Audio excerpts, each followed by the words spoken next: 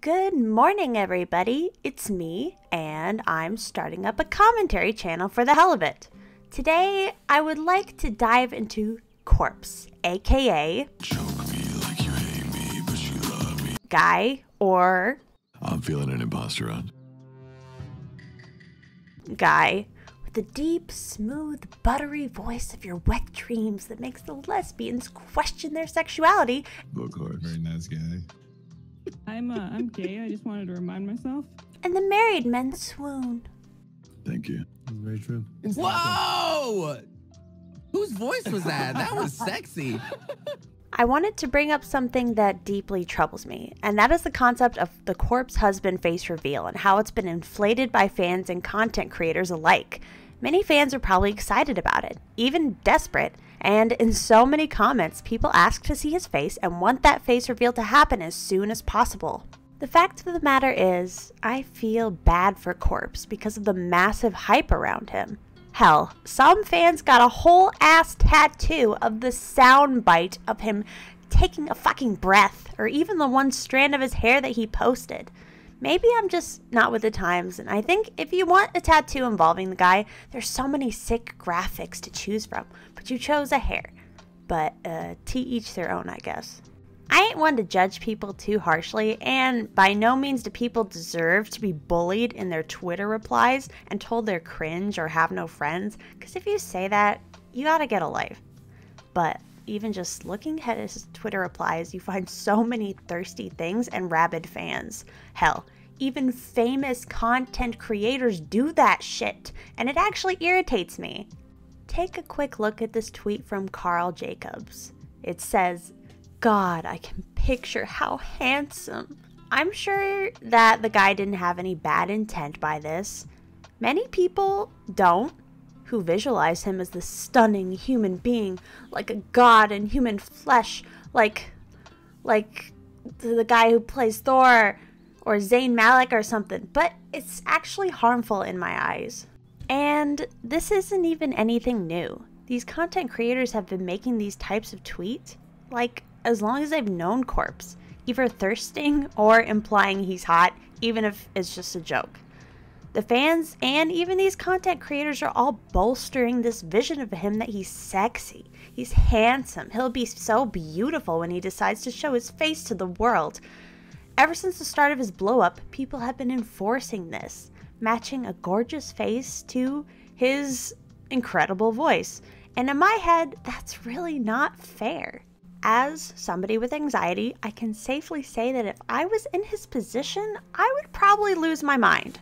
I know I can't speak for him, but I can easily imagine the pressure he's under, and I don't blame him at all for not wanting to reveal his face.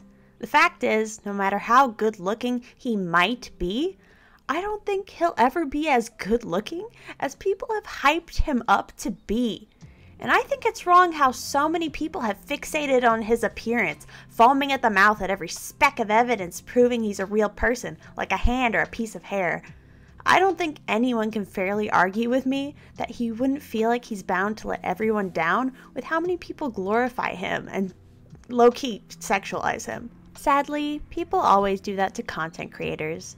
They put them up on a pedestal, and if you cannot meet their expectations, you disappoint eh, at least a decent chunk of them. I feel extremely bad for Corpse because maybe if he had revealed his face before he went completely viral, people would have more of an even perspective of him. Instead of jumping through all these imaginative hoops, indulging in the mystery of it all. Oh, what could he look like? Oh, what could match that beautiful voice? I'm sure his friends would still build him up, his fans would still adore him, but countless people are stuck on this mental image of him and they're building this narrative that he's hot and he has to be hot. It kind of reminds me of when they made Twilight into a movie, and I, for one, was so disappointed that Edward wasn't nearly as hot as I imagined him in the book. Don't you fucking judge me. I like the books, damn it. Everyone had that face, I think. Even his introduction into those bigger streams and communities have been met with awe and shock due to his voice. Most people have flipped out and complimented him about it, even those way more famous than himself. The expectation is there, and he's shown that he feels that pressure and how he thinks that he'll disappoint everyone. I hate how he's terrified now of people in his real life recognizing him, and I don't know how much longer he'll be able to tread that fine line of just like staying inside and always being afraid of going. He's expressed that he's been recognized by his voice in the drive through. A goddamn drive through. Imagine if he pulled up and then somebody took a picture of him and posted it everywhere. He wouldn't even have control over that, and it's easy for people to recognize him if he talks because his voice is so distinct. If he goes anywhere, he's probably afraid to talk to people anywhere in public.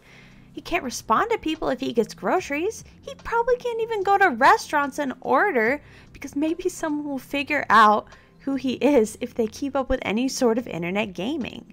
It feels kind of like the opposite of the Tony Hawk effect. Uh, I looked that up because some of Tony Hawk's Twitter things about him being recognized but not being recognized is hilarious. But, anyways, even in the Anthony Padilla video, we see how his anxiety was already bad even before he blew up and millions of new people learned about his channel. Even at his smaller level of fame, which was still, you know, pretty good because he had, I forgot how many million subscribers, at least it was 1 million, he still kept his occupation from everyone in his life, living kind of like Hannah Montana.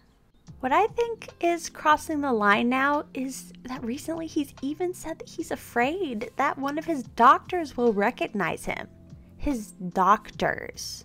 He has a lot of health problems, and if he already struggles with too much anxiety of being found up in public just doing everyday things, with something as necessary as seeing his doctor now being a source of anxiety for him, in my head is a recipe for disaster. And it's all these people's expectations that have built him up to be so nervous and afraid of being recognized. My point is that I think all of this, these tweets like, you're handsome, oh, I'm visualizing you right now, oh, sexy, and stuff like that, even if you're not directing it at his looks, it's probably going to be interpreted that way. And both him and other people are going to internalize this as something that will have to come out whenever he does do a face reveal. I just wish that when you posted compliments, either normal people or content creators, you talk about something else besides all these, you know, sexy, beautiful, uh, you know, stuff like that. You could say lots of other things. There's a plenty to like about him, but all the sexualizing and idolizing, even from his fellow internet friends, I think it's harmful. And while it might be flattering in the moment, it causes a lot of pressure long term. I personally think stands are gonna stand anyway, and so there's no use reaching out to them like, ah, oh, this could be harmful to them because it's, you know, their stance it's whatever, but I'm mostly just directing this at the content creators who are help perpetuating this narrative. But you are also not helping out if you are one of those people that are harassing the stands, making replies to his tweets. Okay? Like, are, if you're one of those trash bags posting, I hate this site, and oh my god, why are people so obsessed? Or, Oh, if he didn't have that voice, none of you guys would even like him. Just mind your own damn business. You're a toxic human who needs something better to do. Corpse is just a person, just a regular person. We gotta stop putting all this pressure on him, like if the face reveal ever happens or is leaked, because the community all around him, people will probably take it terribly and be awful to him, both stands and haters alike, if he doesn't match their vision. I'm not trying to be. Jesus Christ. I'm sorry, I live like right next to the road. But, anyways, I know at the end of the day that his real friends and fans will stick around, but I just think it just needs to be toned down a little bit because it's putting a lot of pressure on him. All these expectations, we need to stop because he already has anxiety and all of those medical problems that probably get worse with all this stress. Because of this mess, he's afraid to go outside, and that's so unfortunate and constricting for his life. I think that the best thing that anyone can do for him as a whole, if we could just all tone it down, just Just slow down on the comments like beautiful, handsome, sexy, all of that because it has an automatic connotation with how he looks. Just treat him like a cool guy who plays video games or reads out scary stuff with a pretty neat voice and a fun personality. I'm especially talking to people like Karl, Jack, Rae, all those other people, whoever's out there with a shared audience and a voice in the community. People are watching you, people are following your example.